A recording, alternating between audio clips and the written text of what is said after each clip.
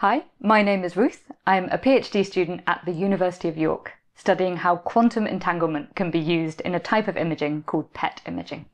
Hi, my name's Laura, and I'm also a PhD student at the University of York, researching quantum entanglement in PET. PET stands for positron emission tomography. It's a technique doctors use to image metabolic processes inside of the body, so it can be used to find cancerous tumours or to monitor brain activity. PET works by injecting a radiotracer into the body. This is commonly an isotope of fluorine attached to some kind of sugar. It travels around the body and gets absorbed into the tissue, accumulating in areas with particularly high metabolic processes. In other words, these are the parts of the body where there's a lot going on. So, for example, cancerous tumours. The radioactive atom then decays, producing a positron, which is the antiparticle of an electron. The positron will travel a couple of millimeters before annihilating with a nearby electron. The annihilation process produces two photons, which will always travel in opposite directions. These photons are detected by placing the patient inside a big ring of detectors. When we get two photon hits at the same time, we assume they came from the same event. We can then draw a line between the two hits and we know that somewhere along this line is where the decay took place. We call this line a line of response. When enough of these lines have been collected, we can start to reconstruct an image of what's going on inside the body. Now this is the ideal scenario. When the photons are detected cleanly like this, we call it a true event. The photons exit the body, interact with nothing, and then are immediately detected inside the scanner. What can actually happen is that one of the photons scatters and changes direction before it's detected. Photons can scatter in the patient, in the air, on the table, even in the detector itself. And when this happens, the line of response between the two hits is now offset from where the decay actually took place. The other issue that can occur is random coincidence. If two decays happen at almost exactly the same time, it's possible you'll detect one photon from one decay, one from the other, and then when you draw a line between your two photons, it's again pointing to the wrong location. These incorrect lines of response create noise and artifacts in our final images. Unfortunately, for a full body PET scan, 30 to 50% of all the events we detect can be these scattered events, and that is a huge fraction. So as a result, PET scans tend to be noisy with bad spatial resolution. It's hard to see a lot of detail. Hospitals often try and correct for this by combining PET scans with other types of scans, like CT or MRI. These scans produce structural images of the body, which highlight bones and particularly dense areas. It just happens that these areas are those most likely to scatter photons, so we can then use these images to correct our PET scans. It works very effectively, but it takes a long time and may require exposing the patient to even more radiation. Here's where our research comes in. Our idea is to use quantum entanglement to remove these unwanted noisy events. Remember that the two PET photons are produced in the same event, when the positron and the electron annihilate with each other. So this means that they are quantum entangled. Anything that happens to one of my photons is going to instantly affect the properties of the other. Einstein called this spooky action at a distance. So, how do you measure entanglement? Our method looks at the way the photons behave when they hit the detector. When each photon hits the detector, it's quite likely to scatter at some angle. Let's call it phi. We're interested in the difference between the angles for the two photons. Let's call that delta phi. If the photons are entangled, delta phi looks like a cosine function, which means it's much more likely the photons scatter at right angles to each other than in the same direction. But if the photons are not entangled, then there's no relationship at all between the angles. The photons are equally likely to scatter at any angle, so delta phi is flat. So we should be able to use this information to work out which of the detected photons we should use for our image. So let's see what this quantum entanglement looks like on a detector. We don't have a full PET scanner, but we do have pairs of detector arrays just like you'd find on the opposite sides of a PET scanner.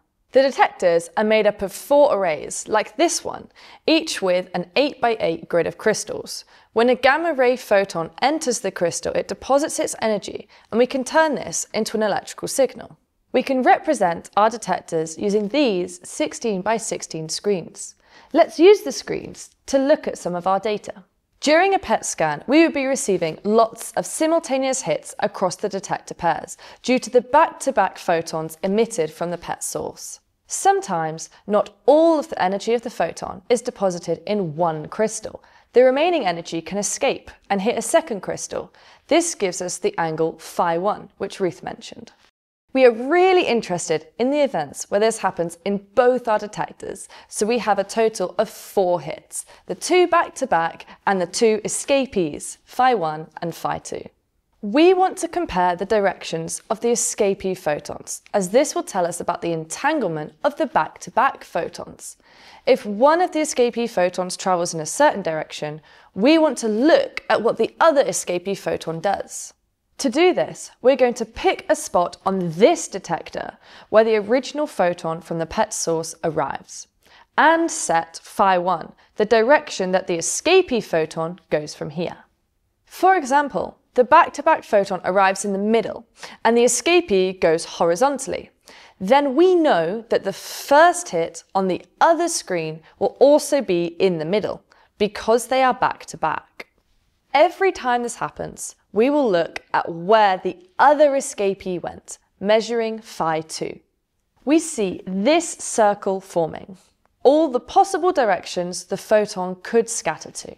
However, the circle is not the same brightness all the way round. It has light and dark spots on it, which means that more of the photons went in some directions than others.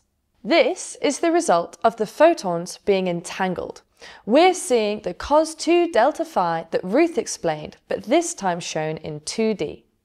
When we decided that the first escapee was going horizontally, quantum entanglement made it much more likely that the other would go vertically, since the cos2 delta phi has a maximum at 90 degrees. Even if the detectors were at the opposite ends of the universe, we would still see this enhanced correlation. That's what Ruth meant when she talked about the spooky action at a distance. Up until 2024, physicists believed that when one of the photons scattered before reaching the detector, the entanglement between them was likely to be broken. So we did an experiment to test this. We looked at cases where one of the back-to-back photons scattered before it reached the detector.